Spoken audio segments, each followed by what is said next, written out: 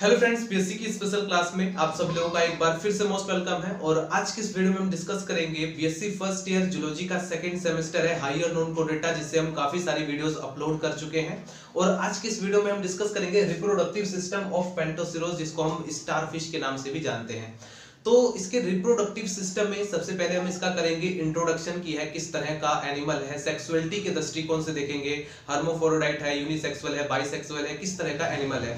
उसके बाद हमारा टॉपिक रहेगा इसकी लाइफ साइकिल ठीक है लाइफ साइकिल की रिप्रेजेंटेशन कुछ इस तरह से होगी, जैसे कि आप यहाँ पर डायग्राम में देख रहे हैं। क्योंकि एग्ज़ाम पेपर में लॉन्ग क्वेश्चन में ऐसे इस तरीके से पूछा जाता है describe the reproductive system of starfish या इसकी लाइफ हिस्ट्री के बारे में पूछ लिया जाता है, या लाइफ साइकिल के नाम से भी आ सकता है। तो वो क्वेश्चंस अलग अलग तरीके से लाइफ साइकिल से रिलेटेड पूछा जा सकता है। शॉर्ट क्वेश्चन में इसका बाइपिनेरिया लार्वा जैसे कि आप यहाँ पर पढ़ेंगे लार्वल डेवलपमेंट के अंदर इसमें अलग अलग तरह के लार्वा बनते हैं, जिसमें एक important larva bipinnaria larva short question में कई बार पूछा जाता है। ठीक है तो उसके बारे में भी डिस्कस करेंगे। और फाइनली हमारा टॉपिक होगा मेटामॉर्फोसिस तो हाइयर नॉन कोडेटा के अंदर पाइला, प्रॉन और भी कुछ एनिमल्स हैं जिनके बारे में पढ़ाया जाता है, जिसको इसके बारे में काफ़ी सारी वीडियोस अपलोड कर चुका हूँ डाइजेस्टिव सिस्टम या रिप्रोडक्टिव सिस्टम ठीक है, पाइला से रिलेटेड सभी टॉपिक्स में अपलोड कर चुका हूँ, आप जाकर के चैनल के अंदर प्लेलिस्ट चेक करेंगे हाइयर नॉन को डेटा आपको वहाँ पर मिल जाएगा। तो चलिए स्टार्ट करते हैं, अब हम यहाँ पर डिस्कस करेंगे रिप्रोडक्टिव सिस्टम ऑफ़ स्टारफिश प्यारे दोस्तों हेडिंग डालेंगे रिप्रोडक्टिव सिस्टम ऑफ़ स्टारफिश तो अब हम यहाँ पर स्टारफिश के अंदर रिप्रोडक्टिव सिस्टम को स्टडी करेंगे। प्यारे दोस्तों, क्या होता है कि जितने भी एनिमल्स हैं, ठीक है, जितने भी एनिमल्स हैं, सभी एनिमल्स की बॉडी में विटल एक्टिविटीज़ मतलब कि जैविक क्रिया के लिए अलग अलग तरह का सिस्टम बना हुआ है, ठीक है अलग अलग तरह के ऑर्गन्स प्रेजेंट होते हैं। विटल एक्टिविटीज़ मतलब जैसे फॉर एग्ज़ाम्पल हम रेस्पिरेशन करते हैं मतलब सांस लेते हैं तो रेस्पिरेशन के लिए रेस्पायरेटरी सिस्टम बना है रेस्पिरेटरी सिस्टम कैसे बना है? उसमें रेस्पिरेटरी ऑर्गन्स होते हैं जो कि सांस लेने में हेल्प करते हैं रेस्पिरेशन में हेल्प करते हैं। नंबर सेकेंड डाइजेशन है तो डाइजेशन के लिए डाइजेस्टिव सिस्टम बना है। डाइजेस्टिव सिस्टम कैसे बना है? उसमें डाइजेस्टिव ऑर्गन्स होते हैं जो कि हमें डाइजेशन में हेल्प करते हैं। उसमें कई सारे एंजाइम्स होते हैं ग्लैंड्स होते हैं जो कि ऐसे ग्लैंड्स होते हैं जो कि एंजाइम का सेक्रेशन करते हैं, जो कि हमें वहाँ पर डाइजेशन में हेल्प करता है फ़ूड को पचाने में हेल्प करता है। तो इसी तरीके से excretion respiration reproduction osmoregulation हमारी बॉडी के अंदर कई तरह की विटल एक्टिविटीज़ हैं। ठीक है? तो इसी तरीके से सभी एनिमल्स के अंदर है।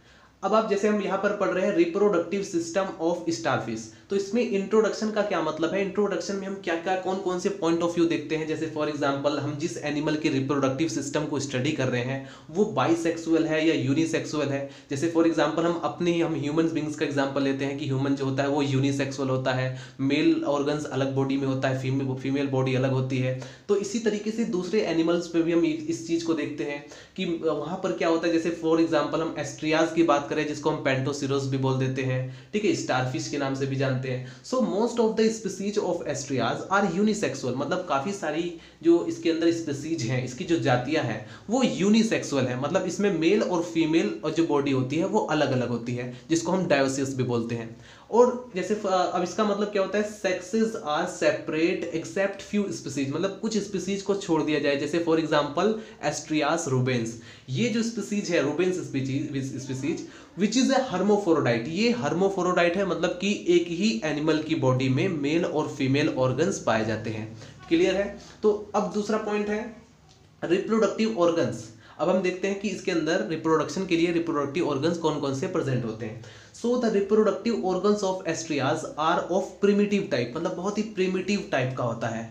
ठीक है एंड लैक कॉपुलेटरी ऑर्गन्स अब जैसा कि आप मेच्योर हैं ग्रेजुएशन कर रहे हैं तो आपको पता होगा कॉपुलेटरी ऑर्गन्स क्या होता है, कैसे कॉपुलेशन होता है।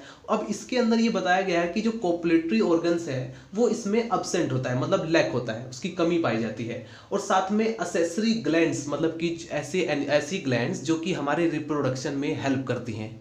ठीक है, ऐसी ग्लैंड जो कि हमारे रिप्रोडक्शन में, जिसको हम सहायक ग्रंथियाँ भी बोलते हैं एसेसरी ग्लैंड्स वो अपसेंट होती हैं। साथ में रिसेप्टिकल फॉर स्टोरिंग स्टोरिंग ओवा मतलब कि ओवा को स्टोर करने वाली जो रिसेप्टिकल्स होती है, वो भी अपसेंट होती है।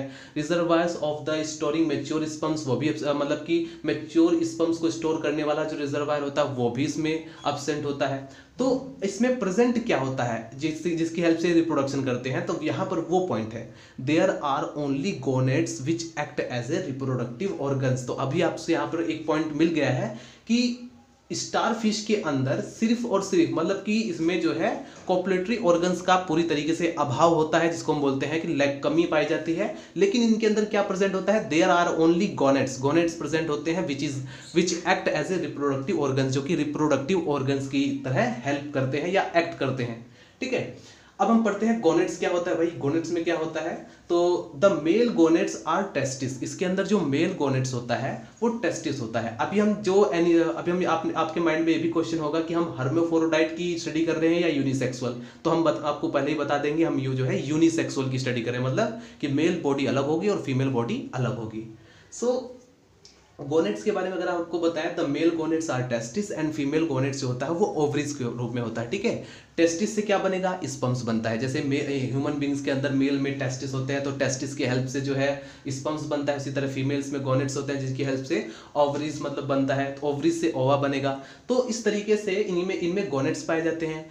इच सेक्सुअली मेच्योर मेल और female individual contain five pair of testis and ovaries मतलब फाइव पेयर पाए जाते हैं and one pair is lying free literally in the proximal part of each arms between the pyloric caeca and the ampullae आपने star fish के, जैसे कि मैंने already discuss किया हुआ है स्टार फ़िश का एम्ब्यूलेक्रल सिस्टम या फिर वोटर वास्कुलर सिस्टम बहुत ही मोस्ट इंपॉर्टेंट क्वेश्चन है एग्जामिनेशन पेपर के पॉइंट ऑफ़ व्यू से, जिसकी हेल्प से काफ़ी सारी उसकी विटल एक्टिविटीज़ जितनी भी जैविक क्रियाएँ हैं, वो सब की सब उसी की हेल्प से होती हैं, ठीक है? जिसके बारे में ऑलरेडी बता चुका हूँ तो वहीं से पॉइंट यहाँ से जिसने वो पॉइंट पढ़ा होगा तो वो इस लाइन को भी समझ जाएगा, ठीक है? तो वो मतलब कि गोनेट्स कहाँ पर प्रेजेंट होते हैं? इनमें एक सिंगल पेयर गोनेट्स प्रेजेंट होता है। So the testis and ovaries are morphologically similar testis और ओवरीज जो होता है, वो मॉर्फोलॉजिकली सिमिलर होता है and each gonads appear as a elongated feathery tuft और टफ्ट ऑफ़ द ट्यूब्यूल्स और बंक ऑफ़ ग्रेप्स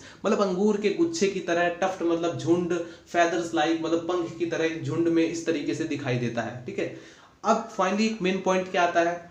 कि जब आप यहाँ पर पढ़ते हैं, किसी में जो फर्टिलाइजेशन होता है, वो एक्सटर्नल फर्टिलाइजेशन होता है, किसी में फर्टिलाइजेशन इंटरनल होता है, ठीक है? तो यहाँ पर इसमें देखते हैं हम किस तरह का होता है। देखो the mature sperms and ova are discharge by the male and female Asterias respectively in a sea water जैसा कि आपको पता है कि जो स्टारफिश है, ये समुद्र में रहने वाला होता है। तो ये क्या करता है? अपने ओवा को या sperms, male body male body जो होती है, वो अपने स्पम्स को कहाँ डिस्चार्ज करता है? वाटर के अंदर, समुद्र के पानी के अंदर डिस्चार्ज कर देता है। और वहीं पर अगर हम बात करते हैं फीमेल बॉडी भी जो है अपने ओवा को वहाँ पर डिस्चार्ज कर देती है। तो स्पम्स और ओवा दोनों के दोनों कहाँ पर डिस्चार्ज किए जाते हैं? समुद्र के पानी के अंदर। तो इसका मतलब कौन सा फर्टिलाइजेशन होगा? एक्सटर्नल फर्टिलाइजेशन होगा, क्योंकि बॉडी के बाहर हो रहा है। ठीक है, ये दोनों जो डायग्राम है काफ़ी इंपॉर्टेंट है। ये गोनेट्स को रिप्रेजेंट करेंगे गोनेट्स कहाँ पर प्रेजेंट होता है, ठीक है? आर्म्स के बीच में जैसे यहाँ पे देखेंगे, ये होता है, ये गोनेट्स है, और दिस इज़ ये तो पारोलिक सीका है, और ये ट्यूब फिट है, ठीक है? और यहाँ पर देखो, ये गोनेट्स है और ये गोनेट्स है, ठीक है? ये मेल ये फीमेल इसको हम नोट कर लेंगे। तो गाइस फर्टिलाइजेशन के बाद, अब हम यहाँ पर ये जो डायग्राम आपको दिखाई दे रहा है, जब अगर क्वेश्चन इस तरीके से पूछा जाए describe the life cycle of starfish Asterias या फिर पेंटोसिरोस तब आपको ऐसे यहाँ पर रिप्रेजेंट करना होगा। इस तरीके से डायग्राम बनाना होगा, इसकी कंप्लीट लाइफ हिस्ट्री या लाइफ साइकिल को एक्सप्लेन करना होगा। ठीक है एक्सप्लेनेशन आप हिंदी में करते हैं इंग्लिश में करते हैं डजेंट मैटर लेकिन यहाँ पर क्या होगा, देखो, सबसे पहले आपको डायग्राम को अच्छी तरीके से समझना है, फिर उसके बाद आप देखेंगे इसमें किस तरीके से फर्टिलाइजेशन होगा फर्टिलाइजेशन के बाद कैसे जाइकोट में क्लीवेज होता है, कैसे ब्लास्टूला कैसे गेस्ट्रुलेशन की क्रिया होती है, और फाइनली कौन कौन से लार्वल स्टेजेस आते हैं और कैसे दोबारा से ये कन्वर्ट हो जाता है. तो अभी तक हम कहाँ पर पहुँचे जैसे कि मैंने आपको बताया, अभी मैंने फर्टिलाइजेशन के बारे में बताया कि फर्टिलाइजेशन जो होता है वो एक्सटर्नल होता है. क्योंकि इसमें जो मेल बॉडी होती है, ठीक है, ये है एडल्ट मेल और ये है एडल्ट फीमेल इसमें जो एडल्ट मेल होता है, वो अपनी बॉडी से स्पम्स को डिस्चार्ज करता है कहाँ पर? वाटर के अंदर. वहीं पर जो फीमेल एडल्ट होती है, वो ओवा को डिस्चार्ज करती है अपनी बॉडी से। वो भी कहाँ पर? वाटर के अंदर। तो अब ये दोनों जब एक दूसरे के कांटेक्ट में आते हैं तो फर्टिलाइजेशन प्रोसेस में क्या होता है? ये जो स्पम है, ये इस ओवा को पेनेट्रेट कर जाता है और पेनेट्रेट करने के बाद ये इसमें न्यूक्लियस से जाकर जुड़ जाता है, जिससे इसमें फर्टिलाइजेशन का प्रोसेस होता है। तुरंत फर्टिलाइजेशन के बाद यहाँ पर बनता है जाइगोट ठीक है, जैसे ही फर्टिलाइजेशन होगा फर्टिलाइजेशन के बाद बनेगा जाइगोट फिर उसके बाद धीरे धीरे जाइगोट में क्लीवेज होगा। क्लीवेज से पहले इसमें मरुल्ला होगा। मरुल्ला बनेगा। अब इस मरुला में ब्लास्टुलेशन का प्रोसेस होता है, जिससे ब्लास्टुला बनता है। और यहाँ पर देख सकते हैं, ये blastula in section section of blastula. और फिर उसके बाद ब्लास्टुलेशन में, जिसमें गेस्ट्रुलेशन की क्रिया होती है, ठीक है, ये ब्लास्टोपोर बना हुआ है। जैसे इसमें गेस्ट्रुलेशन की क्रिया होगी, तब ये गेस्ट, लेट गेस्ट्रुला बनेगा।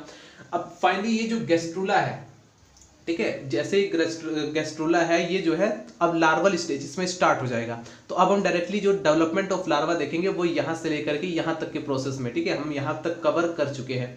जिसके अंदर हम यहाँ पर क्या देखते हैं? देखो फर्टिलाइजेशन के बाद एम्ब्रियोगोनी स्टेज के अंदर काफ़ी सारे लार्वल स्टेजेस आते हैं। लेकिन फर्टिलाइजेशन के बाद क्या बनता है? जाइगोट जाइगोट्स में क्या होगा? क्लीवेज होगा। ठीक है क्लीवेज होलोप्लास्टिक क्लीवेज होता है, और फिर उसके बाद बेस्टुला गेस्ट्रुला और लास्ट में लार्वल स्टेजेस आती है। ठीक है, जिसके बारे में हम, जिसमें कई तरह के लार्वा भी बनते हैं। ये है अर्ली बिपिनीरिया लार्वा, ये लेटर बिपिनीरिया लार्वा मतलब ये कंप्लीट मेच्योर है। ये देख सकते हैं आप rudiment of starfish and finally ये यंग स्टार फ़िश में कन्वर्ट हो जाता है। और जैसे इसमें मेटामोरफोसिस होगा, ये एडल्ट या एडल्ट मेल या फीमेल में कन्वर्ट हो जाता है। तो इस तरीके से इसकी लाइफ साइकिल है, जिसको आप एक्सप्लेन कर सकते हैं। मेनली इसमें क्या है, आपको ये ध्यान रखना, बहुत ही सिंपल लाइफ साइकिल है। वही इसमें क्या है, दोनों के दोनों क्या है यूनिसेक्सुअल है मतलब मेल और फीमेल अलग है, और दोनों अपने अपने जो रिप्रोडक्टिव ऑर्गन से क्या करते हैं, इसमें रिप्रोडक्टिव ऑर्गन ऑलरेडी मैं बताया हूँ कि इसमें गोनेट्स के रूप में होता है। ठीक है, दोनों स्पम और ओवा को डिस्चार्ज करते हैं फर्टिलाइजेशन होगा और फिर वही क्लीवेज होकर के ब्लास्टुलेशन गेस्टुलेशन की क्रिया प्रोसेस द्वारा फिर लार्वल स्टेजेस आ जाएँगी और लार्वा जो है फाइनली कन्वर्ट होगा एडल्ट मेल या फीमेल में। तो इस तरीके से इसकी लाइफ साइकिल कंप्लीट होती है। सबसे पहले आप इसको नोट करें। गाइज़ अगर हम यहाँ पर लार्वल डेवलपमेंट के बारे में बात करें तो नंबर फ़र्स्ट लार्वा बनता है, ठीक है? जैसे ही प्रोसेस ऑफ़ गेस्ट्रुलेशन की क्रिया हो जाती है, तब यहाँ पर बनता है फ़र्स्ट लार्वा जो कि होता है डिप्लूलेरिया लार्वा ठीक है? डिप्लूरा लार्वा जो कि फ़र्स्ट लार्वा होता है, और ये सभी इकाइनोडर्म्स के अंदर पाया जाता है। ये पॉइंट नोट करेंगे इंपॉर्टेंट है, ये सभी इकाइनोडर्म्स के अंदर पाया जाता है, और ये बायोलेट्रली सिमेट्रिकल होता है, और मेच्योर होने के बाद ये डाइटम्स वगैरह हो, ठीक है? जैसे जैसे इसकी बॉडी डेवलप होंगी अलग अलग तरह की जो ऑर्गन्स है वो डेवलप होंगे, ये डाइटम्स का सेवन करता है। ठीक है डाइटम आपने बॉटनी के अंदर पढ़ा होगा, वो डाइटम को एज ए फ़ूड के रूप में यूज़ करता है।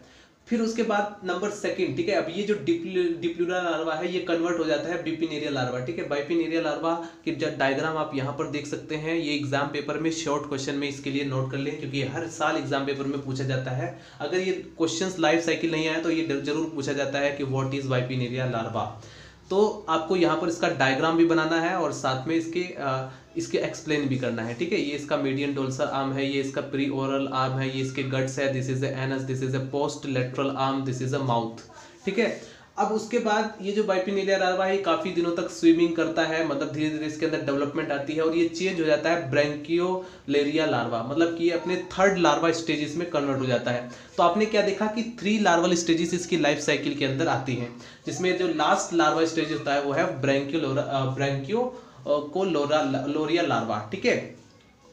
अब इसके अंदर इस ब्रेंकिलोरिया लार्वा में होता है मेटामोरफोसिस जैसे इसके अंदर मेटामोरफोसिस होगा मतलब इसके कुछ ऑर्गन्स मतलब कि इसके जो मतलब कि इस लार्वा के अंदर कुछ ऑर्गन्स जो है वहाँ पर धीरे धीरे डिसअपेयर होंगे और कुछ जो नए ऑर्गन्स हैं वो धीरे धीरे अपेयर होने स्टार्ट हो जाते हैं। ठीक है, आगे का इसमें ऑर्गन्स का डेवलपमेंट होता है अलग अलग तरह की इसकी जो बॉडी है, उसकी बॉडी के अंदर पाए जाने वाले जितने भी ऑर्गन्स हैं, जो कि डाइजेशन रेस्पिरेशन में इसकी विटल एक्टिविटीज़ में हेल्प करते हैं, वो सब धीरे धीरे इसमें डेवलप होगा और एक नया स्टारफिश में कन्वर्ट हो जाता है। तो इस तरीके से ये इसकी लाइफ साइकिल है। और अगर आपसे रिप्रोडक्टिव सिस्टम पूछे तो आप इसी तरीके से एक्सप्लेन कर सकते हैं। लाइफ साइकिल पूछे तब भी आप इसी तरीके से एक्सप्लेन कर सकते हैं। ठीक है? सो so, मिलते हैं नेक्स्ट वीडियो में। Bye bye thank you so much